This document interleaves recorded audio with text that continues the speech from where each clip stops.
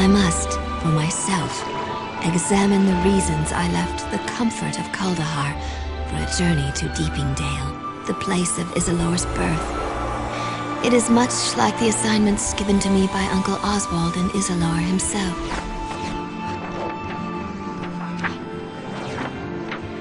When Isilor left those lands near the Inner Sea for the spine of the world, he told his fellow Druids he would send a student to replace him.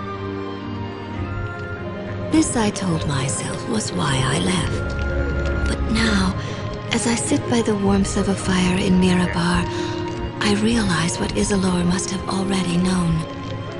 I remember the details vividly. It started many years ago. The year was 1310 Dale Reckoning, when scouts from Bryn Shander the largest of the ten towns, first reported sighting goblin warbands. Within weeks, a river of goblins had flowed forth from the spine of the world, and above that wave of death sailed a banner bearing the monstrous heads of the Chimera.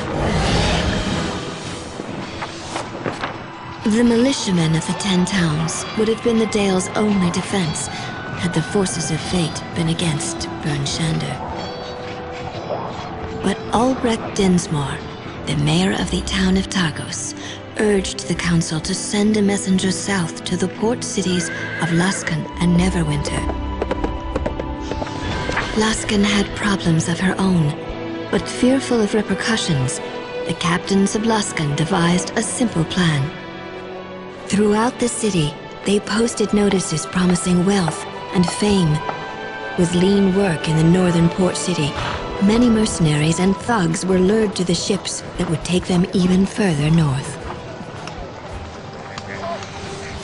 And so their ships crept through the sea of moving ice and onto the Shaengarne River. They bragged of the deeds they would perform and the castles they would purchase. Lost in their reverie, they were